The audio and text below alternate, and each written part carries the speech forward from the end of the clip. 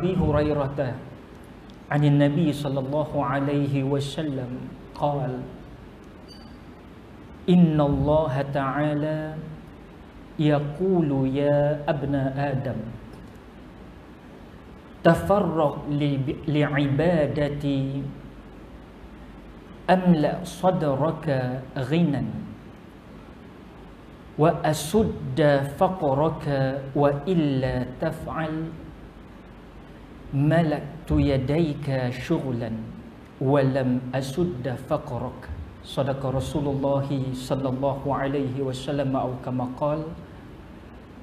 Rawahu tirmizi sepotong hadis dari Abu Hurairah radhiyallahu anhu dari Nabi sallallahu alaihi wasallam beliau bersabda Sesungguhnya Allah Ta'ala berfirman Wahai manusia luangkanlah waktumu untuk beribadah kepadaku. Niscaya aku akan penuhi dadamu dengan kekayaan.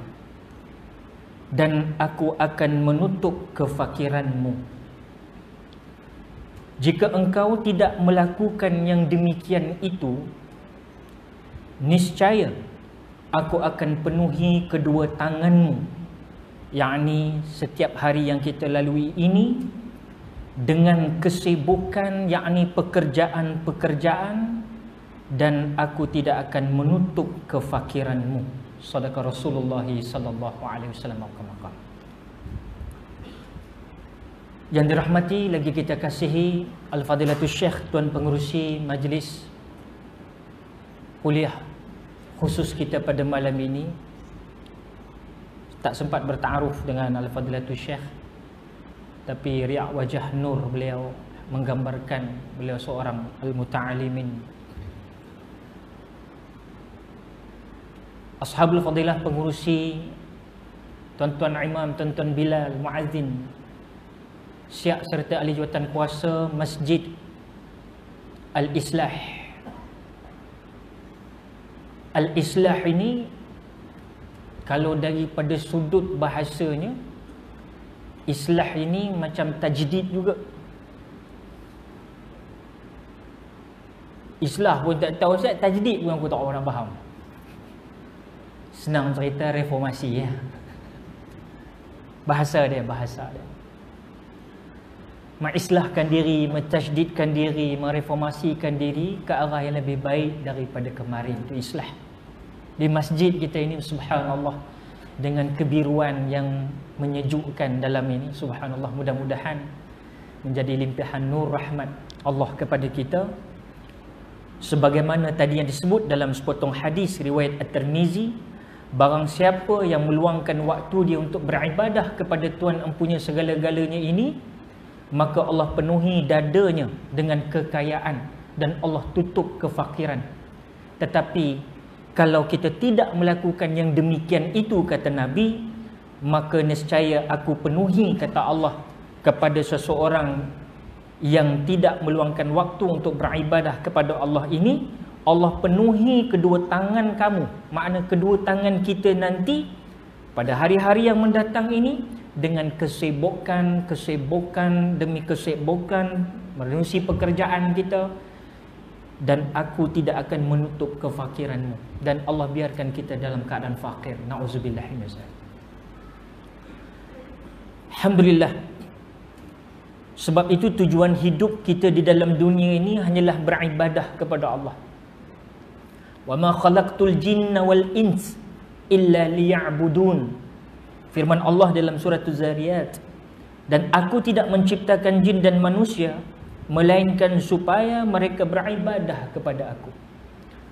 Mudah-mudahan pada malam ini dengan luangan masa daripada anak yang fakir hadir dari Kuala Lumpur datang ke sini dengan ruangan yang diberikan oleh pihak masjid Al-Islah kepada anak dan seluruh yang hadir membanjiri masjid kita pada malam ini yang cukup ramai. Lebih kurangnya 300 ribu orang termasuk yang tak datang tidak lain tidak bukan tujuannya satu mudah-mudahan menjadi amal bekalan kita untuk kita menyahut cabaran bahawasanya kehidupan kita ini semata-mata sebenarnya untuk melakukan ibadah kepada Allah Subhanahu wa taala Hadirin hadirat rahimakumullah. Orang yang diberikan suatu rasa untuk beribadah ini macam hadirin hadiran yang datang daripada utara bawa sejahtera dari timur bawa ma'mur dari barat bawa berkat dari selatan mai terus bawa kawan-kawan ni tujuannya apa? Buat apa kita berbondong-bondong datang ke rumah Allah Subhanahu Wa Taala ini? Buat apa kita datang buat buat kebajikan kepada orang lain? Bali wa'ani wala ayah sampaikan dari ke wala sepotong ayat. Buat apa kita nak berdakwah kepada orang lain? Buat apa kita nak bagi tahu jiran kita ada perkara yang tak kena dengan agama kita? Bagi tahu dia secara baik. Ada kawan-kawan yang kita mungkin tak solat lagi, yang mendedahkan aurah lagi, kita bagi tahu dia secara baik. Tak betul cara hang ni, tak betul, kena tukar, kena tukar. Semua ini tuan-tuan perempuan kerana apa? Allah telah memberikan suatu rasa yang tidak ada pada mereka yang jahil ini. Dan rasa itu ditambah oleh Allah Subhanahu Taala dengan satu sifat yang disebut qanaah. Qanaah ialah rasa cukup dan puas atas pemberian Allah kepada kita. Makanya orang-orang yang terpilih ini sudah tentu rasa aman, damai, tenteram. Walau apa pun berlaku ke atas diri dia. Pasti dia ada sifat qana'ah. Bukan saja menerusi al-mali atau harta. Tetapi dari sudut an-nafsi, diri dia sendiri saja, dia rasa tenang, damai. Kerana apa? Dia tahu bahawasanya Allah tidak menzalimi dia.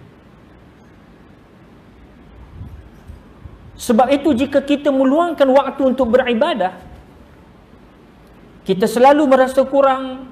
Dapat penghasilan berapa pun selalu kurang dan cepat habis. Kerana apa?